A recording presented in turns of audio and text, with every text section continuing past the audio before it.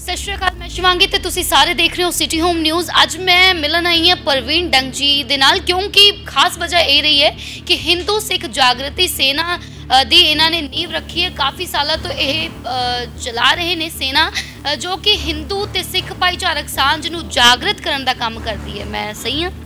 ਬਿਲਕੁਲ ਸਹੀ ਹੈ ਜੀ। ਪਹਿਲਾਂ ਤਾਂ ਜੈ ਸ਼੍ਰੀ ਰਾਮ, ਸਤਿ ਸ਼੍ਰੀ ਅਕਾਲ ਤੁਹਾਨੂੰ ਸਾਰਿਆਂ ਨੂੰ, ਦੇਖਣ ਵਾਲਿਆਂ ਨੂੰ। ਤੇ ਹਿੰਦੂ ਸਿੱਖ ਜਾਗਰਤੀ ਸੇਨਾ ਅਸੀਂ 2007 ਦੇ ਵਿੱਚ ਸ਼ੁਰੂ ਕੀਤੀ ਸੀ। ਔਰ ਸਮੇਂ ਦੇ ਮੁਤਾਬਕ ਇਹਦੀ ਬਹੁਤ ਜ਼ਰੂਰਤ ਸੀ, ਕਿਉਂਕਿ ਜੱਲੇ 60 ਦੇ ਦਹਾਕੇ ਦੇ ਵਿੱਚ ਕੀ ਕਹਿੰਦੇ, ਪੰਜਾਬ ਭਾਸ਼ਾ ਦੇ ਆਧਾਰ ਦੇ ਉੱਤੇ ਵੰਡ ਹੋਈ ਸੀ ਇੱਥੇ। ਪਤਾ ਹੀ ਨਹੀਂ ਚੱਲਿਆ ਕਦੋਂ ਭਾਸ਼ਾ ਦੀ ਵੰਡ ਨੂੰ ਧਾਰਮਿਕ ਵੰਡ ਦੇ ਵਿੱਚ ਕਨਵਰਟ ਕਰ ਦਿੱਤਾ ਗਿਆ। ਪਹਿਲੀ ਗੱਲ ਤਾਂ ਬੜੀ ਜ਼ਿੰਮੇਵਾਰੀ ਨਾਲ ਮੈਂ ਇਹ ਕਹਿਣਾ ਚਾਹੁੰਦਾ ਇਹ ਸਿੱਖ ਸਟੇਟ ਨਹੀਂ ਹੈ, ਪੰਜਾਬੀ ਸਟੇਟ ਹੈ। ਇਸ ਕਰਕੇ ਇਹਨੂੰ ਇਸ ਤਰ੍ਹਾਂ ਨਾ ਪ੍ਰਚਾਰਿਆ ਜਾਵੇ ਕਿ ਇੱਥੇ ਇਕੱਲੇ ਸਿੱਖ ਰਹਿੰਦੇ ਨੇ। ਸਿੱਖ ਵੀ ਸਾਡੇ ਭਰਾ ਨੇ, ਅਗਰ 55% ਉਹ ਨੇ 45% ਇੱਥੇ ਹਿੰਦੂ ਵੀ ਹੈਗੇ ਨੇ। ਬਰਾਬਰ ਦਾ ਆਲਮੋਸਟ ਹੈ। ਸਰਕਾਰਾਂ ਕੋਈ ਵੀ ਹੋਣ, ਉਹਨਾਂ ਨੂੰ ਸਾਰੇ ਲੋਕਾਂ ਨੂੰ ਮੱਦੇ ਨਜ਼ਰ ਰੱਖਦੇ ਹੋਏ ਨੀਤੀਆਂ ਬਣਾਉਣੀਆਂ ਚਾਹੀਦੀਆਂ ਤੇ ਇਸੇ ਕਰਕੇ ਹਿੰਦੂ ਸਿੱਖ ਜਾਗਰਤੀ ਸੇਨਾ ਕਈ ਵਾਰੀ ਮੈਨੂੰ ਕੱਟਰਪੰਥੀ ਲੋਕਾਂ ਦੇ ਫੋਨ ਵੀ ਆਉਂਦੇ ਰਹੇ ਨੇ, ਜਿਹਦੇ ਚੋਂ ਕਹਿੰਦੇ ਰਹੇ ਆ ਕਿ ਤੁਸੀਂ ਹਿੰਦੂਆਂ ਨੂੰ ਜਾਗਰਤ ਕਰੋ, ਸਿੱਖਾਂ ਨੂੰ ਛੱਡ ਦਿਓ, ਸਿੱਖ ਤਾਂ ਪਹਿਲਾਂ ਹੀ ਜਾਗਰਤ ਨੇ। ਮੈਂ ਬੜੀ ਜ਼ਿੰਮੇਵਾਰੀ ਨਾਲ ਇਹ ਗੱਲ ਕਹਿੰਦਾ, ਹਿੰਦੂ ਪੂਰੀ ਤਰ੍ਹਾਂ ਜਾਗਰਤ ਨੇ, ਸਿੱਖ ਹਾਲੇ ਪੂਰੀ ਤਰ੍ਹਾਂ ਜਾਗਰਤ ਨਹੀਂ ਹੈ ਕਿਉਂਕਿ ਜਿੱਲੇ ਗੁਰੂ ਗੋਬਿੰਦ ਸਿੰਘ ਜੀ ਨੇ ਪੰਜ ਪਿਆਰੇ ਸਾਜੇ ਸੀਗੇ ਜਾਤ ਪਾਤ ਉਹਨਾਂ ਨੇ ਖਤਮ ਕੀਤੀ ਸੀਗੀ। ਜਿਹੜਾ ਉਹਨਾਂ ਨੇ ਜਿਹੜੀ ਵੰਡੀਆਂ ਪਈਆਂ ਹੋਈਆਂ ਸੀ, ਉਹਨੂੰ ਖਤਮ ਕਰਨ ਦਾ ਪ੍ਰਯਾਸ ਕੀਤਾ ਸੀ। ਮਜਲੂਮ ਲਈ ਲੜਨ ਦੀ ਜ਼ਿੰਮੇਵਾਰੀ ਸਿੱਖ ਦੀ ਲਗਾਈ ਸੀਗੀ, ਖਾਲਸਾ ਫੌਜ ਦੀ ਲਗਾਈ ਸੀ। ਕੀ ਗੱਲਾਂ ਉਹ ਅੱਜ ਸੱਚ ਹੈ? ਅੱਜ ਤੇ ਕੀ ਕਹਿੰਦੇ, ਜੇ ਦੇਖਿਆ ਜਾਵੇ ਆਪਣਾ ਜਾਤ ਪਾਤ ਆਧਾਰਿਤ ਸ਼ਮਸ਼ਾਨ ਘਾਟ ਪੰਜਾਬ ਦੇ ਵਿੱਚ ਬਣੇ ਹੋਏ ਨੇ। ਜਾਤ ਪਾਤ ਆਧਾਰਿਤ ਗੁਰਦੁਆਰੇ ਬਣੇ ਹੋਏ ਨੇ ਅਲੱਗ-ਅਲੱਗ ਪਿੰਡਾਂ ਦੇ ਵਿੱਚ। ਪਹਿਲਾਂ ਇੱਕ ਖਾਲਸੇ ਦੀ ਸੋਜ ਵਾਲਾ ਪਿੰਡ ਤੇ ਵਸਾਇਆ ਜਾਵੇ ਜਿੱਥੇ ਇਹ ਸਾਰੀ ਕੁਰੀਤੀਆਂ ਨਾ ਹੋਣ, ਫਿਰ ਤੇ ਅਸੀਂ ਕਵਾਂਗੇ ਕਿ ਬਹੁਗਿਣਤੀ ਸਿੱਖ ਸਾਡੇ ਭਾਈ ਨੇ ਜਿਹੜੇ ਜਾਗਰੂਕ ਨੇ। ਔਰ ਕਹਿੰਦੇ ਹੁੰਦੇ ਆ ਨਾ, ਸੁਧਾਰ ਹਮੇਸ਼ਾ ਆਪਣੇ ਅੰਦਰੋਂ ਹੁੰਦਾ। ਦੂਜੇ ਨੂੰ ਕਹਿਣ ਤੋਂ ਪਹਿਲਾਂ ਆਪਣੇ ਆਪ ਨੂੰ ਸੁਧਾਰਨਾ ਪੈਂਦਾ। ਹੁਣ ਅੱਜ ਕੱਲ ਦੀ ਗੱਲ ਹੈ ਕੱਲ ਅੰਮ੍ਰਿਤਪਾਲ ਜੀ ਨੇ ਜਿਹੜਾ ਸਰੈਂਡਰ ਕੀਤਾ, ਉਸ ਸਰੈਂਡਰ ਦੇ ਵਿੱਚ ਸਭ ਤੋਂ ਜਿਹੜੀ ਜ਼ਰੂਰੀ ਚੀਜ਼ ਦੇਖਣ ਵਾਲੀ ਹੈ, ਮੇਰਾ ਖਿਆਲ ਹਾਲੇ ਤੱਕ ਕਿਸੇ ਦੀ ਨਜ਼ਰ ਉਸ ਚੀਜ਼ ਦੇ ਉੱਤੇ ਨਹੀਂ ਪਈ। ਤੁਹਾਨੂੰ ਯਾਦ ਹੋਣਾ ਹੈ, ਅੰਮ੍ਰਿਤਪਾਲ ਔਰ ਉਹਨਾਂ ਦੇ ਸਾਥੀਆਂ ਨੇ। ਕੀ ਕਹਿੰਦੇ ਗੁਰਦੁਆਰਾ ਗੁਰਦੁਆਰਿਆਂ ਦੇ ਵਿੱਚੋਂ ਸੋਫੇ ਔਰ ਤਖਤ ਪੋ ਚੱਕ ਕੇ ਬਾਹਰ ਸਿੱਟੇ ਸੀ। ਵੀ ਇੱਥੇ ਕੋਈ ਵੀ ਬੰਦਾ ਬੈਠੇਗਾ ਨਹੀਂ ਕਿਉਂਕਿ ਬੈਠ ਕੇ ਗੁਰੂ ਗ੍ਰੰਥ ਸਾਹਿਬ ਦੀ ਬੇਅਦਬੀ ਹੁੰਦੀ ਆ। ਪਰ ਜਿਸਲੇ ਕੱਲ ਅੰਮ੍ਰਿਤਪਾਲ ਨੇ ਕੀ ਕਹਿੰਦੇ ਸੰਬੋਧਨ ਕੀਤਾ ਪਿੰਡ ਵਾਲਿਆਂ ਨੂੰ ਆਪ ਤਖਤ ਪੋਜ ਦੇ ਉੱਤੇ ਬੈਠਾ ਹੋਇਆ। ਕਹਿੰਦੇ ਹੁੰਦੇ ਜਿਸਲੇ ਬੰਦਾ ਪ੍ਰੈਸ਼ਰ ਚ ਆ ਜਾਂਦਾ ਨਾ ਵਿਵੇਕ ਬੁੱਧੀ ਦਾ ਸਾਥ ਛੱਡ ਜਾਂਦਾ ਤੇ ਮੈਨੂੰ ਐ ਲੱਗਦਾ ਕੱਲ ਅੰਮ੍ਰਿਤਪਾਲ ਜਿਸਲੇ ਪੁਲਿਸ ਕੋਲ ਅਰੈਸਟ ਹੋਣਾ ਸੀ, ਉਹ ਪ੍ਰੈਸ਼ਰ ਦੇ ਵਿੱਚ ਸੀ। ਜਿਹੜੀ ਗੱਲਾਂ ਉਹ ਖੁਦ ਕਰਦਾ ਰਿਹਾ, ਉਹ ਭੁੱਲ ਚੁੱਕਾ ਸੀਗਾ ਤੇ ਆਪ ਹੀ ਉਹਨੇ ਉਹੀ ਕੰਮ ਕੀਤਾ, ਤਖਤ ਫੌਜ ਦੇ ਉੱਤੇ ਬੈਠ ਵੀਡੀਓ ਵੀਡੀਓ ਜਿਹੜੀ ਵਾਇਰਲ ਹੋਈ, ਸੁਣੀ ਤੁਸੀਂ ਕਿ ਵੀਡੀਓ ਦੇ ਵਿੱਚ ਉਹਨਾਂ ਨੇ ਗ੍ਰਿਫਤਾਰੀ ਤੋਂ ਪਹਿਲਾਂ ਕੁਝ ਕਿਹਾ ਸਿੱਖ ਸੰਗਤਾਂ ਨੂੰ?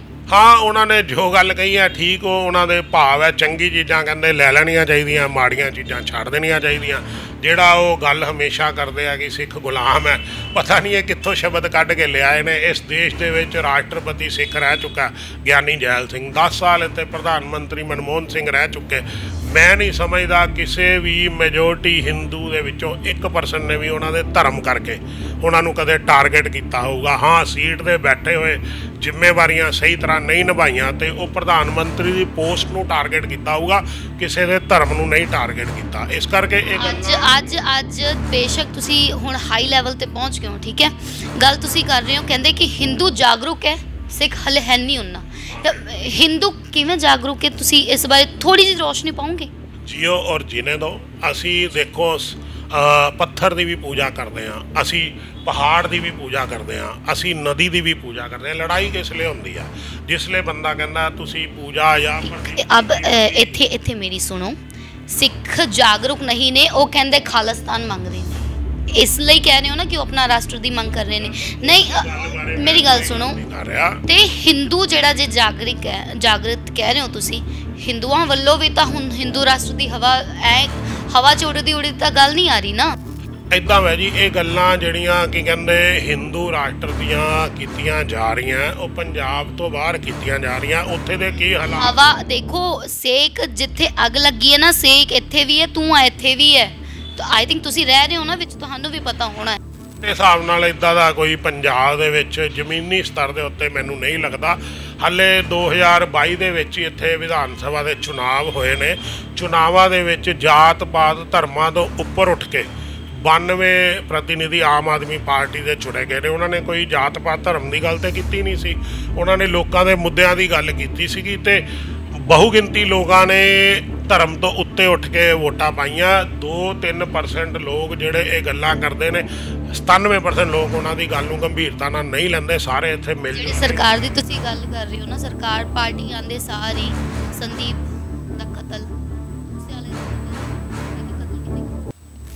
ਐਦਾਂ ਵੈ ਜੀ ਇਹ ਸਾਰੀ ਘਟਨਾਵਾਂ 1947 ਤੋਂ ਬਾਅਦ ਹਮੇਸ਼ਾ ਹੀ ਹੁੰਦੀਆਂ ਰਹੀਆਂ ਪਰ ਇਹ ਜ਼ਰੂਰ ਹੈ ਹੁਣ ਸੁ- ਸੁਰੱਖਿਆ ਦੀ ਜ਼ਿੰਮੇਵਾਰੀ ਸੁਰੱਖਿਆ ਦੀ ਜ਼ਿੰਮੇਵਾਰੀ ਕਿਹਦੀ ਸੀਗੀ?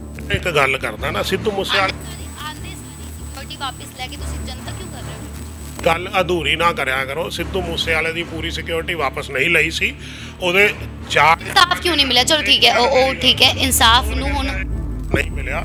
ਕਿੰਨੇ ਬੰਦੇ ਅੱਜ ਤੱਕ ਗ੍ਰਿਫਤਾਰ ਹੋ ਚੁੱਕੇ ਨੇ? ਹੁਣ ਸਾਲ ਹੋ ਚੁੱਕਿਆ ਮਾਪਿਓ ਹੁਣ ਵੀ ਰੋ ਰਹੇ ਨੇ। ਇਦਾਂ ਵੈ ਨਾ ਜੀ ਉਹ ਸਾਡਾ ਦੇਸ਼ ਹੈ ਨਾ ਜਿਹੜਾ ਜੀ ਇੱਕ ਕਾਨੂੰਨੀ ਪ੍ਰਕਿਰਿਆ ਦੇ ਨਾਲ ਚੱਲਦਾ।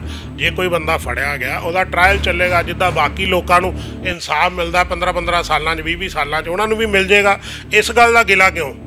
ਮਤਲਬ ਇਹ ਪ੍ਰਕਿਰਿਆ ਤੇ ਸਾਰਿਆਂ ਲਈ ਹੈ ਨਾ। ਜੇ ਆਪਾਂ ਗੱਲ ਕਰੀਏ ਮਲੇਰਕੋਟਲਾ ਦੇ ਵਿੱਚ ਕਾਂਗ ਕਾਂਗਰਸ, ਅਕਾਲੀ ਦਲ, ਭਾਜਪਾ ਦੇ ਰਾਜ ਚ ਵਿਧੂ ਜੈਨ ਦਾ ਸਰਿਆਮ ਜਿੰਦਾ ਜਲਾ ਕੇ ਮਰਡਰ ਹੋਇਆ ਸੀ। ਹਾਲੇ ਤੱਕ ਉਹਦੇ ਹਥਿਆਰੇ ਨਹੀਂ ਫੜੇ ਗਏ। ਸਿੱਧੂ ਮੂਸੇਵਾਲੇ ਦੇ ਕੇਸ 'ਚ ਤਾਂ 20 ਤੋਂ 25 ਬੰਦੇ ਫੜੇ ਜਾ ਚੁੱਕੇ ਨੇ ਹਾਲੇ ਤੱਕ। ਟ੍ਰਾਇਲ ਚੱਲੇਗਾ, ਜਾਂਚ ਹੋਏਗੀ, ਫੇਰ ਹੀ ਕਿਸੇ ਨੂੰ ਦੋਸ਼ੀ ਠਹਿਰਾਵਾਂਗੇ ਨਾ। ਸਾਡੇ ਤਾਲਿਬਾਨਾਂ ਵਾਲਾ ਕਾਨੂੰਨ ਥੋੜੀ ਚੱਲਦਾ ਕਿ ਕਿਸੇ ਨੂੰ ਵੀ ਫੜ ਕੇ ਗੋਲੀ ਮਾਰ ਦਿਓ ਸਰਕਾਰ ਦਾ ਕੀ ਕੰਮ ਹੁੰਦਾ, ਜਿਹੜੇ ਦੋਸ਼ੀ ਹੋਵੇ, ਉਹਨਾਂ ਨੂੰ ਫੜ ਕੇ ਜੇਲ੍ਹ ਦੀ ਸਲਾਖਾਂ ਦੇ ਪਿੱਛੇ ਭੇਜਣਾ। ਤੇ ਮੈਂ ਸਮਝਦਾ ਕਿ ਪਹਿਲੀ ਵਾਰੀ ਮੈਂ ਦੇਖਿਆ ਇਸ ਸਰਕਾਰ ਦੇ ਵਿੱਚ। ਜਿੰਨੇ ਵੀ ਕਾਂਡ ਹੋਏ ਨੇ, ਭਾਵੇਂ ਅੰਮ੍ਰਿਤਸਰ ਪੁਲਿਸ ਹੈੱਡਕੁਆਟਰ ਦੇ ਉੱਤੇ ਹਮਲਾ ਹੋਇਆ, ਬੰਦੇ ਫੜੇ ਗਏ। ਸਿੱਧੂ ਮੂਸੇ ਵਾਲੇ ਕੇਸ 'ਚ 20 ਤੋਂ 25 ਬੰਦੇ ਫੜੇ ਜਾ ਚੁੱਕੇ ਹੋਏ ਆ। ਮੇਰਾ ਖਿਆਲ ਸੰਦੀਪ ਨੰਗਲ ਵਾਲੇ ਕੇਸ 'ਚ ਵੀ ਕਈ ਬੰਦੇ ਫੜੇ ਜਾ ਚੁੱਕੇ ਹੋਏ ਆ।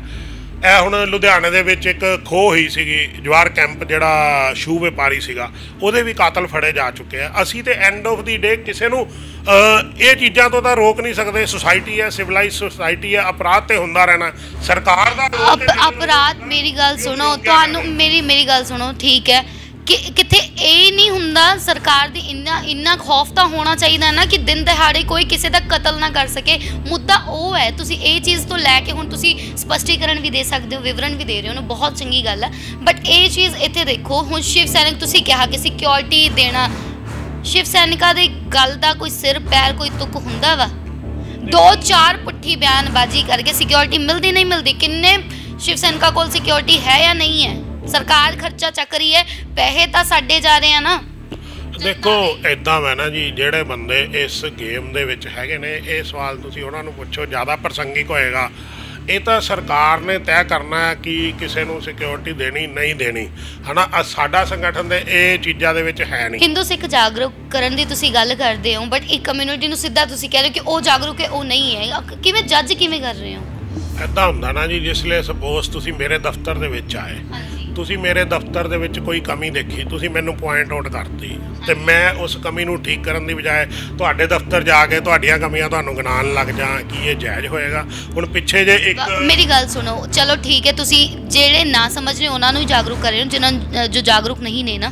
ਫਿਰ ਤੁਸੀਂ ਜਜਮੈਂਟ ਦੇ ਕੇ ਮਤਲਬ ਹੋ ਸਕਦਾ ਕਮੀ ਪੇਸ਼ੀ ਨੂੰ ਅਸੀਂ ਜਤਾਈਏ ਕਿਉਂ? ਜਤਾਈਏ ਕਿਉਂ ਉਹ- ਉਹਨਾਂ ਨੂੰ ਜਤਾਉਣ ਦੀ ਬਤਾਉਣ ਦੀ ਬਜਾਏ ਅਸੀਂ ਜਤਾ ਨਹੀਂ ਰਿਹਾ। ਮੈਂ ਤਾਂ ਕੀ ਕਹਿੰਦੇ ਸਹਿਯੋਗ ਕਰਦਾ ਹਮੇਸ਼ਾ। ਮੈਂ ਹੁਣ ਇੱਕ ਗੱਲ ਕਰਦਾ ਪਿੱਛੇ ਦਰਬਾਰ ਸਾਹਿਬ ਦੇ ਵਿੱਚ ਇੱਕ ਅ, ਅ, ਹੋਇਆ ਇਨਸੀਡੈਂਟ ਇੱਕ ਲੜਕੀ ਜਿਹਦੇ ਇੱਥੇ ਤਿਰੰਗਾ ਝੰਡਾ ਲੱਗਾ ਹੋਇਆ ਸੀ। ਉਹ ਆਪਣੇ ਫਾਦਰ ਨਾਲ ਆਪਣੇ ਭੂਆ ਫੁੱਫੜ ਨਾਲ ਉੱਥੇ ਮੱਥਾ ਟੇਕਣ ਗਈ ਸੀ। ਜਿਹੜੀ ਉੱਥੇ ਗੁਰਦੁਆਰਾ ਸਾਹਿਬ ਦੀ ਪ੍ਰਬੰਧਕ ਕਮੇਟੀ ਆ ਐਸਜੀਪੀਸੀ ਉਹਦਾ ਜਿਹੜਾ ਸਟੈਂਡ ਆ, ਉਹ ਬਹੁਤ ਵਧੀਆ। ਉਹਨਾਂ ਨੇ ਕੀ ਕਹਿੰਦੇ, ਬੜੀ ਹਲੀਮੀ ਨਾਲ ਇਸ ਮੈਟਰ ਨੂੰ ਸੋਲਵ ਕੀਤਾ। ਪਰ ਸੋਸ਼ਲ ਮੀਡੀਆ ਦੇ ਉੱਤੇ ਇੱਕ ਯੁੱਧ ਚੱਲ ਪਿਆ। ਉੱਥੇ ਕੀ ਕਹਿੰਦੇ ਦਿਖਾਣ ਲੱਗੇ ਆਮ ਤੌਰ ਤੇ ਕੱਟੜਬੰਦੀ ਹੁਣ ਅੱਜ ਕੱਲ ਇਹ ਵੀ ਨਹੀਂ ਪਤਾ ਲੱਗਦਾ, ਇਹ ਆਈਡੀ ਇੰਡੀਆ ਤੋਂ ਆਪਰੇਟ ਹੋ ਰਹੀ, ਪਾਕਿਸਤਾਨ ਤੋਂ ਹੋ ਰਹੀ ਜਾਂ ਵਿਦੇਸ਼ ਤੋਂ ਹੋ ਰਹੀ, ਕਿਉਂਕਿ ਪਿੱਛੇ ਇੱਕ ਚੈਪਟਰ ਹੋਇਆ ਸੀ, ਸਾਡਾ ਪੰਜਾਬ ਦਾ ਬੜਾ ਆਈਪੀਐਲ 'ਚ ਖੇਡਣ ਵਾਲਾ ਹੋਣਹਾਰ ਬੱਚਾ ਅਰਸ਼ਦੀਪ। ਉਹ ਜਿਸਲੇ ਉਹਨੂੰ ਇੱਕ ਓਵਰ ਦੇ ਵਿੱਚ ਸਕੋਰ ਪਏ ਸੀ ਤੇ ਕਿਸੇ ਨੇ ਟਵਿੱਟਰ ਦੇ ਉੱਤੇ ਅਭਿਆਨ ਚਲਾਤਾ ਕਿ ਇਹ ਖਾਲਿਸਤਾਨੀ ਆ। ਬੜੀ ਜਲਦੀ ਸਾਡੇ ਸਿੱਖ ਭਰਾ ਇਮੋਸ਼ਨਲ ਹੋ ਗਏ ਉਹਦੇ ਹੱਕ 'ਚ ਦੂਜਿਆਂ ਨੂੰ ਵੀ ਟਾਰਗੇਟ ਕਰਨ ਲੱਗੇ। ਇਹ- ਪਹਿਲੇ ਗੱਲ ਤੇ ਪੂਰੀ ਹੋ ਲੰਦੋ ਉਹ ਬਾਅਦ ਦੇ ਵਿੱਚ ਜਾਂਚ ਚ ਕੀ ਨਿਕਲਿਆ ਜਿਹਨੇ ਅਭਿਆਨ ਚਲਾਇਆ ਸੀ ਉਹ ਪਾਕਿਸਤਾਨ ਦੀ ਆਈਐਸਆਈ ਨੇ ਚਲਾਇਆ ਸੀ। ਤੇ ਇਹ ਚੀਜ਼ਾਂ ਦੇ ਉੱਤੇ ਸਾਨੂੰ ਖੁਦ ਵਿਚਾਰ ਕਰਕੇ ਆਪਣੇ ਆਸੇ-ਪਾਸੇ ਦਾ ਮਾਹੌਲ ਦੇਖਣਾ ਚਾਹੀਦਾ ਕਿ ਇਦਾਂ ਦਾ ਮਾਹੌਲ ਹੈਗਾ ਕਿ ਅਸੀਂ ਇੱਕ ਦੂਜੇ ਨੂੰ ਟਾਂਚਾ ਮਾਰਦੇ ਆ। ਅਗਰ ਆਪਾਂ ਟਾਂਚਾ ਮਾਰਦੇ ਆ ਫਿਰ ਤਾਂ ਇਹ ਮਾਹੌਲ ਨੂੰ ਸਮਝਿਆ ਜਾਵੇ। ਜੇ ਆਪਾਂ ਟਾਂਚਾ ਨਹੀਂ ਮਾਰਦੇ ਤੇ ਸੋਸ਼ਲ ਮੀਡੀਆ ਦੇ ਪ੍ਰਭਾਵ ਦੇ ਵਿੱਚ ਕਿਉਂ ਅਸੀਂ ਉਹਨਾਂ ਦੇ ਸ਼ਿਕਾਰ ਬਣਨਾ ਇੱਕ ਦੂਜੇ ਨੂੰ ਇੱਕ ਟਾਰਗੇਟ ਚੀਜ਼ ਇੱਕ ਚੀਜ਼ ਤੁਸੀਂ ਨੋਟ ਕੀਤੀ ਹੈ ਸੋਸ਼ਲ ਮੀਡੀਆ ਤੇ ਕੀ ਚੀਜ਼ਾਂ ਹੋ ਰਹੀਆਂ ਨੇ? ਚੰਗੀ ਚੀਜ਼ ਕੋਈ ਵੀ ਪਾ ਦਿਓ ਇੰਨੀ ਛੇਤੀ ਨਹੀਂ ਚੜਦੀ ਸਿਰੇ। 네ਗੇਟਿਵ ਕੁਝ ਵੀ ਪਾਉਂਗੇ ਨਾ ਮਿੰਟੋ ਮਿੰਟ ਵਾਇਰਲ ਹੁੰਦੀ ਹਾਂ। ਦੇਖੋ, ਐਸਾ ਕੁਝ ਨਹੀਂ ਹੈਗਾ। ਮੈਂ ਹੁਣ ਗੱਲ ਕਰਦਾ, ਇੱਕੋ ਸੋਸ਼ਲ ਵਰਕਰ ਸਾਡਾ ਲੁਧਿਆਣੇ ਦਾ ਬੱਚਾ ਹੈਗਾ, ਅਨਮੋਲ ਕੁਆਤੜਾ, ਚੰਗੇ ਕੰਮ ਕਰਦਾ। ਤੇ ਉਹਦੇ ਚੰਗੇ ਕੰਮ ਕਿੱਡੇ ਹਾਈਲਾਈਟ ਹੁੰਦੇ ਨੇ। ਐਸਾ ਕੁਝ ਨਹੀਂ ਹੈ। ਹਰ ਵੇਲੇ, ਹਾਂ, ਇਹ ਮੰਨਦਾ ਥੋੜਾ ਜਲਦੀ 네ਗੇਟਿਵ ਗੱਲ ਨਿਗਾਹ 'ਚ ਚੜਦੀ ਆ ਤੇ ਚੰਗੀ ਗੱਲਾਂ ਵੀ ਚੜਦੀਆਂ ਨੇ। ਬਹੁਤ ਚੰਗੀ ਚੀਜ਼ਾਂ ਸਾਨੂੰ ਸੋਸ਼ਲ ਮੀਡੀਆ ਤੋਂ ਵੀ ਦੇਖਣ ਨੂੰ ਮਿਲਦੀਆਂ ਨੇ। ਇਹ ਬਹੁਤ ਜ਼ਿੰਮੇਵਾਰੀ ਵਾਲਾ ਕੰਮ ਹੈ। ਕੁਝ ਵੀ ਬੋਲਣ ਤੋਂ ਪਹਿਲਾਂ ਬੜਾ ਸੋਚ ਸਮਝ ਕੇ ਇੱਕ ਦੂਜੇ ਦਾ ਸਤਿਕਾਰ ਕਰਨਾ ਚਾਹੀਦਾ। ਜੇ ਕੋਈ ਚੰਗਾ ਸੁਝਾਅ ਦਿੰਦਾ, ਇਹ ਨਹੀਂ ਸੋਚਣਾ ਚਾਹੀਦਾ ਉਹ ਬੰਦਾ ਛੋਟਾ ਵਾ, ਇਹਦਾ ਸੁਝਾਅ ਨਹੀਂ ਲੈਣਾ। ਅਸੀਂ ਹਮੇਸ਼ਾ ਸੁਝਾਅ ਲੈਣ ਲਈ ਤਿਆਰ ਬੈਠੇ ਹਾਂ। ਦੱਸੋ ਅਸੀਂ ਆਪਣੇ 'ਚ ਕੀ ਕਮੀਆਂ ਦੂਰ ਕਰੀਏ? ਸਾਡੇ ਹਿੰਦੂ ਧਰਮ ਦੇ ਵਿੱਚ ਜਾਤ-ਪਾਤ ਦੀ ਕਮੀ ਰਹੀ ਆ। ਅਸੀਂ ਉਹਨੂੰ ਆਪਣੇ ਆਪ ਦੂਰ ਕਰਦੇ ਪਏ ਆ ਨਾ। ਸਾਡੇ ਵਿੱਚ ਕੀ ਕਹਿੰਦੇ, ਸਤੀ ਪ੍ਰਥਾ ਦੀ ਕਮੀ ਰਹੀ ਆ। ਅਸੀਂ ਉਹਨੂੰ ਆਪ ਦੂਰ ਕੀਤਾ ਨਾ। ਅਸੀਂ ਕਿਸੇ ਦੀ ਗੱਲ ਨੂੰ ਮਾੜਾ ਥੋੜੀ ਗਿਣਿਆ। ਅੱਜ ਨਰਿੰਦਰ ਮੋਦੀ ਦੀ ਤੁਸੀਂ ਫੇਸਬੁੱਕ ਦੇਖ ਲਓ। ਮੋਦੀ ਦੀ ਫੇਸਬੁੱਕ ਦੇ ਉੱਤੇ ਲੋਕੀ ਹਜ਼ਾਰਾਂ ਗਾਲਾਂ ਕੱਢਦੇ ਨੇ ਸੁਝਾਅ ਦਿੰਦੇ ਨੇ। ਕੀ ਮੋਦੀ ਉਹ ਸਾਰੇ ਬੰਦਿਆਂ ਦੇ ਉੱਤੇ ਪਰਚੇ ਪਾਉਂਦਾ। ਸੁਣਦਾ ਨੈਗੇਟਿਵਿਟੀ ਜਿਹੜੀ ਹੁੰਦੀ ਆ, ਉਹਨੂੰ ਅਸੈਪਟ ਕਰਦਾ ਪਲੱਸ ਜਿਹੜੇ ਸੁਝਾਅ ਹੁੰਦੇ ਨੇ, ਉਹਨੂੰ ਵਧੀਆ ਤਰੀਕੇ ਨਾਲ ਇੰਪਲੀਮੈਂਟ ਕਰਨ ਦੀ ਕੋਸ਼ਿਸ਼ ਕਰਦੇ। ਇਸੇ ਤਰ੍ਹਾਂ ਭਗਵੰਤ ਮਾਨ ਦੀ ਤੁਸੀਂ ਫੇਸਬੁੱਕ ਆਈਡੀ ਦੇਖ ਲਓ, ਲੋਕੀ ਸਾਰੇ ਆਮ ਇੱਕ ਚੀਫ ਮਿਨਿਸਟਰ ਚੁਣੇ ਹੋਏ ਨੂੰ, ਜਿਹਦੇ ਕੋਲ ਪੂਰੇ ਪੰਜਾਬ ਦਾ ਨਿਜ਼ਾਮ ਹੈ, ਉਹਨੂੰ ਵੀ ਸੁਝਾਅ ਦਿੰਦੇ ਨੇ, ਗਾਲਾਂ ਕੱਢਦੇ ਨੇ, ਕਿ ਉਹ ਹਰ ਬੰਦੇ ਨਾਲ ਉਲਝਦਾ। ਉਹ ਆਪਣਾ ਕੰਮ ਕਰਦਾ ਪਿਆ। ਉਸੇ ਤਰ੍ਹਾਂ ਸਾਡੀ ਸਾਰਿਆਂ ਦੀ ਜ਼ਿੰਮੇਵਾਰੀ ਆ। ਛੋਟੀ ਛੋਟੀ ਗੱਲਾਂ ਦੇ ਉੱਤੇ ਉਲਝਣ ਦੀ ਬਜਾਏ ਆਪਾਂ ਆਪਣੀ ਪੋਜ਼ਿਟਿਵ ਰਸਤਾ ਕਿਵੇਂ ਕਿਵੇਂ ਜਾਗਰੂਕ ਕਰਦੇ ਹੋ ਹਿੰਦੂ ਸਿੱਖ ਕਮਿਊਨਿਟੀ ਨੂੰ? ਦੇਖੋ ਹਾਂ ਇਹ ਤੁਸੀਂ ਸਭ ਤੋਂ ਵਧੀਆ ਜਵਾਬ ਕੀਤਾ। ਅੱਜ ਦੇ ਸਮੇਂ ਦੇ ਵਿੱਚ ਪੰਜਾਬ ਦੇ ਵਿੱਚ ਜਾਂ ਪੂਰੀ ਦੁਨੀਆ ਦੇ ਵਿੱਚ ਇਹ ਪ੍ਰਚਾਰਿਤ ਕਰਨ ਦੀ ਕੋਸ਼ਿਸ਼ ਕੀਤੀ ਜਾਂਦੀ ਹੈ ਕਿ ਸਿੱਖ ਇੱਕ ਅਲੱਗ ਧਰਮ ਹੈ। ਜਿਹੜੇ ਲੋਕ ਇਸ ਚੀਜ਼ ਨੂੰ ਮੰਨਦੇ ਆ, ਮੈਂ ਕਹਿੰਦਾ ਠੀਕ ਆ। ਉਹ ਬਿਲਕੁਲ ਸਹੀ ਆਪਣੇ ਤੌਰ ਦੇ ਉੱਤੇ ਹੋ ਸਕਦੇ ਆ। ਹੁਣ ਮੇਰਾ ਵੀ ਤੇ ਅਧਿਕਾਰ ਹੈ ਨਾ ਆਪਣੀ ਗੱਲ ਕਹਿਣ ਦਾ। ਦੀਵਾਨ ਟੋਡਰਮਲ ਜੀ ਸੇਵਾ ਰਸੋਈ ਅਸੀਂ ਜਿਹੜੀ ਚਲਾਉਂਦੇ ਆ। ਦੀਵਾਨ ਟੋਡਰਮਲ ਜੀ ਦਾ ਤਿਆਗ ਕੁਰਬਾਨੀ ਕਿਉਂ ਬੱਚੇ ਬੱਚੇ ਤੱਕ ਪਹੁੰਚਣੀ ਚਾਹੀਦੀ ਆ? ਕਿਉਂ ਮੈਂ ਕਹਿੰਦਾ ਹਿੰਦੂ ਸਿੱਖ ਇੱਕ ਨੇ? ਜਿਸ ਲਈ ਸਾਹਿਬਜ਼ਾਦਾ ਜੋਰਾਵਰ ਸਿੰਘ ਜੀ, ਸਾਹਿਬਜ਼ਾਦਾ ਫਤਿਹ ਸਿੰਘ ਜੀ, ਮਾਤਾ ਗੁਜਰ ਕੌਰ ਜੀ ਸਰਹੰਦ ਦੇ ਨਵਾਬ ਦੀ ਕੈਦ ਦੇ ਵਿੱਚ ਸੀਗੇ। ਹਨਾ, ਹੁਣ ਉਹ ਪੂਰਾ ਪ੍ਰਸੰਗ ਧਿਆਨ ਨਾਲ ਦੇਖਿਓ। ਉਸ ਵੇਲੇ ਉਹਨਾਂ ਨੂੰ ਠੰਡੇ ਬੁਰਜ ਦੇ ਵਿੱਚ ਰੱਖਿਆ ਗਿਆ ਸੀ, ਅਣਗਿਣਤ ਤਸੀਹੇ ਦਿੱਤੇ ਜਾ ਰਹੇ ਸੀ, ਲਾਲਚ ਦਿੱਤੇ ਜਾ ਰਹੇ ਸੀ ਕਿ ਆਪਣਾ ਧਰਮ ਛੱਡ ਕੇ। ਤੁਸੀਂ ਕੀ ਕਹਿੰਦੇ, ਇਸਲਾਮ ਕਬੂਲ ਲਓ ਤੇ ਤੁਹਾਨੂੰ ਹਰ ਤਰ੍ਹਾਂ ਦੀ ਫੈਸਿਲਿਟੀ ਦੇਾਂਗੇ ਉਸ ਵੇਲੇ ਸਭ ਤੋਂ ਪਹਿਲਾਂ ਰੋਲ ਕਿਹਦਾ ਆਂਦਾ ਪੰਜਾਬੀ ਹਿੰਦੂ ਮੋਤੀ ਰਾਮ ਮਹਿਰਾ ਜੀ ਦਾ। ਜਿਹੜੇ ਨਵਾਬ ਦੀ EMPLOYMENT ਚ ਹੋਣ ਦੇ ਬਾਵਜੂਦ ਉਹਨਾਂ ਨੇ ਦੇਖਿਆ, ਮਾਸੂਮ ਬਾਲਕਾਂ ਨਾਲ ਅਨਿਆਏ ਹੋ ਰਿਹਾ। ਠੰਡੇ ਬੁਰਜ ਦੇ ਵਿੱਚ ਪਹਿਰੇਦਾਰਾਂ ਨੂੰ ਰਿਸ਼ਵਤ ਦੇ ਕੇ ਉਹਨਾਂ ਨੂੰ ਗਰਮ ਦੁੱਧ ਦੇਣ ਜਾਂਦੇ ਸੀਗੇ ਹਨਾ? ਔਰ ਦੂਜੇ ਦਿਨ ਜਿਸਲੇ ਨਵਾਬ ਨੂੰ ਪਤਾ ਲੱਗ ਗਿਆ ਤੇ ਉਹਨੇ ਮੋਤੀ ਰਾਮ ਮਹਿਰਾ ਜੀ, ਉਹਨਾਂ ਦੀ ਧਰਮ ਪਤਨੀ, ਉਹਨਾਂ ਦੇ ਮਾਤਾ ਜੀ 4 ਸਾਲ ਦੇ ਬੱਚੇ ਨੂੰ ਜਿੰਦਾ ਕੋਲੂ ਦੇ ਵਿੱਚ ਸ਼ਹੀਦ ਕਰਤਾ। ਕੌਣ ਸੀਗੇ? ਉਹ ਪੰਜਾਬੀ ਹਿੰਦੂ ਸੀਗੇ। ਕਿਹਦੇ ਲਈ ਉਹਨਾਂ ਨੇ ਕੁਰਬਾਨੀ ਕੀਤੀ ਆਪਣੇ ਲੋਕਾਂ ਲਈ। ਉਸ ਵੇਲੇ ਕੋਈ ਫ਼ਰਕ ਨਹੀਂ ਸੀ। ਦੂਸਰੀ ਗੱਲ ਫ਼ਰਕ ਨਾ ਤੁਸੀਂ ਇਹ ਜਿਹੜਾ ਵਰਡ ਲਾ ਰਹੇ ਹੋ ਨਾ, ਪੰਜਾਬੀ ਹਿੰਦੂ। ਫ਼ਰਕ ਉੱਥੇ ਪੈਦਾ ਹੁੰਦਾ ਹੈ, ਸ਼ਬਦ ਤੇ, ਸ਼ਬਦਾਂ ਦਾ ਗੇਮ ਹੈ। ਕਈ ਵਾਰੀ ਨਾ ਅਸੀਂ ਗੱਲ ਵੀ ਚੰਗੀ ਕਰਦੇ ਆ ਜਿਹੜੇ ਸ਼ਬਦ ਹੁੰਦੇ ਨਾ, ਉਹ ਮਾਇਨੇ, ਇੱਕ ਸ਼ਬਦ ਪਤਾ ਕਿੰਨੇ ਮਾਇਨੇ ਨਿਕਲਦੇ ਨੇ? ਇਹਦਾ ਜਵਾਬ ਦੇਣਾ ਚਾਹਨਾ ਇਹ ਗੱਲ ਮੈਂ ਕਿਉਂ ਕਹਿਣਾ ਵਾ ਪੰਜਾਬੀ ਹਿੰਦੂ? ਜਿਸਲੇ ਆਪਾਂ ਇੱਕ ਟਾਰਗੇਟ ਕਰਕੇ ਕਹਿੰਦੇ ਆ ਕਿ ਸਾਰਾ ਕੰਮ ਹੀ ਇੱਕ ਲੋਕਾਂ ਨੇ ਕੀਤਾ ਹੋਇਆ। ਤੇ ਅਸੀਂ ਇਹ ਕਹਿੰਦੇ ਆ ਸਭ ਨੇ ਮਿਲ ਜੁਲ ਕੇ ਕੀਤਾ। ਜਿਸਲੇ ਆਪਣੇ ਆਪ ਨੂੰ ਡਿਫਾਈਨ ਕਰਨ ਦੀ ਗੱਲ ਆਉਂਦੀ। ਅਸੀਂ ਕਹਿੰਦੇ ਉਸ ਵੇਲੇ ਸਾਰਿਆਂ ਨੇ ਜੇ ਆਪਣੇ ਆਪਣੇ ਤੌਰ ਦੇ ਉੱਤੇ ਕੀਤਾ। ਤੇ ਫਿਰ ਅੱਜ ਤੇ ਇਕੱਠੇ ਹੋ ਗਏ ਨਾ, ਕਿਉਂਕਿ ਉਦੋਂ ਕਿਸੇ ਨੇ ਭੇਦਭਾਵ ਨਹੀਂ ਸਮਝਿਆ। ਜੇ ਆਪਾਂ ਗੱਲ ਕਰੀਏ ਜਿਸਲੇ ਸਾਹਿਬਜ਼ਾਦਾ ਜੋਰਾਵਰ ਸਿੰਘ ਜੀ, ਫਤਿਹ ਸਿੰਘ ਜੀ, ਮਾਤਾ ਗੁਜਰ ਕੌਰ ਜੀ ਦਾ ਜਿਸਲੇ ਸ਼ਹੀਦ ਹੋ ਗਏ। ਉਹਨਾਂ ਦੇ ਸੰਸਕਾਰ ਲਈ ਨਵਾਬ ਨੇ ਕਹਿਤਾ ਕੋਈ ਜ਼ਮੀਨ ਨਹੀਂ ਦੇਗਾ। ਉਸ ਵੇਲੇ ਵੀ ਦੀਵਾਨ ਟੋਡਰਮਲ ਜੀ ਕੀ ਕਹਿੰਦੇ, ਅੱਗੇ ਆਏ। ਉਹਨਾਂ ਨੇ 78000 ਸੋਨੇ ਦੀ ਮੋਹਰਾਂ ਦੇ ਕੇ ਆਪਣੇ ਆਪ ਦਾ ਸਵਰਤ ਵਾਰਿਆ ਤੇ ਉਹਨਾਂ ਦਾ ਵਿਧੀਵਤ ਸੰਸਕਾਰ ਕਰਾਇਆ। ਅਸੀਂ ਇਹ ਕਹਿਣਾ ਚਾਹੁੰਦੇ ਆ ਸਿੱਖ ਪੰਥ ਲਈ ਸਾਰਿਆਂ ਨੇ ਬਰਾਬਰ ਦੀ ਕੁਰਬਾਨੀਆਂ ਦਿੱਤੀਆਂ। ਇਹ ਅਲੱਗ-ਅਲੱਗ ਨਹੀਂ ਹੈ। ਅਸੀਂ ਕੁਰਬਾਨੀਆਂ ਤੇ ਨਾ ਹੀ ਜਾਈਏ, ਤਾਂ ਹੀ ਚੰਗਾ ਹੈ, ਕਿਉਂਕਿ ਇਸੀ ਚੀਜ਼ ਦੀ ਲੜਾਈ ਹੈ। ਸਿੱਖ ਉੱਠ ਕੇ ਕਹਿੰਦੇ ਨੇ, ਅਸੀਂ ਇੰਨੀ ਕੁਰਬਾਨੀ ਦਿੱਤੀ। ਹਿੰਦੂ ਕਹਿੰਦੇ, ਸਾਡਾ ਵੀ ਇੰਨਾ ਯੋਗਦਾਨ ਹੈ। ਲੜਾਈ ਉਸੇ ਚੀਜ਼ ਦੀ ਹੈ ਨਾ ਲੜਾਈ ਲੜਾਈ ਇਸੇ ਚੀਜ਼ ਦੀ ਹੈ। ਸਵੀਕਾਰ ਤਾਂ ਗੱਲ ਦੂਜੇ ਨੂੰ ਕਰਨ ਦੀ ਹੈ ਉਹਨਾਂ ਦੀ ਕੁਰਬਾਨੀ ਤਾਂ ਇਨਕਾਰ ਤੇ ਸਵੀਕਾਰ ਦੇ ਚੱਕਰ 'ਚ ਆਮ ਜਨਤਾ ਕਿੰਨੀ ਪਿਸ ਰਹੀ ਹੈ ਇਹਦੇ 'ਚ ਕੋਈ ਪਿਸਣ ਵਾਲੀ ਗੱਲ ਤਾਂ ਨਹੀਂ ਹੈ ਹਰ ਬੰਦੇ ਨੂੰ ਆਪਣੀ ਗੱਲ ਕਹਿਣ ਦਾ ਲੜਾਈ ਦਾ ਹੱਕ ਤਾਂ ਸਾਰਿਆਂ ਨੂੰ ਹੈ ਬਟ ਕਿਤੇ ਨਾ ਕਿਤੇ ਗੱਲਾਂ ਦਾ ਪ੍ਰਭਾਵ ਕਦੋਂ ਪੈਂਦਾ ਹੈ? ਜਿਸਲੇ ਅਸੀਂ ਤੁਹਾਡੀ ਗੱਲ ਨੂੰ ਸਵੀਕਾਰ ਨਾ ਕਰਦੇ ਹੋਏ ਆਪਣੀ ਗੱਲ ਨੂੰ ਵੱਡਾ ਦੱਸੀਏ। ਅਸੀਂ ਆਪਣੀ ਗੱਲ ਤੋਂ ਵੱਡਾ ਦੱਸ ਨਹੀਂ ਰਹੇ ਅਸੀਂ ਇਹ ਕਹਿ ਰਹੇ ਬਰਾਬਰ ਦੀਆਂ ਕੁਰਬਾਨੀਆਂ। ਜਦ ਤੁਸੀਂ ਨਾ ਇੱਕ ਸੇਨਾ ਆਪਣੀ ਜਦ ਸ਼ੁਰੂ ਇਹ ਕੀਤੀ ਹੈ ਲੋਕਾਂ ਨੂੰ ਜਾਗਰਿਤ ਕਰਨ ਦਾ ਤੁਸੀਂ ਇੱਕ ਪੱਖ ਦੀ ਠੀਕ ਹੈ ਤੁਹਾਡਾ ਤਰਕ ਵਿਤਰਕ ਵੀ ਬਹੁਤ ਸੁਣਿਆ ਵੀ ਟਾਈਮ ਵੀ ਦਿੱਤਾ। ਬਟ ਤਰਕ ਵਿਤਰਕ ਦੇ ਵਿੱਚ ਨਾ ਤੁਸੀਂ ਇੱਕ ਚੀਜ਼ ਹੈ ਕਿ ਤੁਸੀਂ ਇੱਕ ਨੂੰ ਹਾਈਪ ਦੇਣ ਦੀ ਕੋਸ਼ਿਸ਼ ਕਰ ਰਹੇ ਹੋ ਹੈ ਨਾ? ਕਿਤੇ ਨਾ ਕਿਤੇ ਸ਼ੋ ਹੋ ਰਿਹਾ ਹੈ।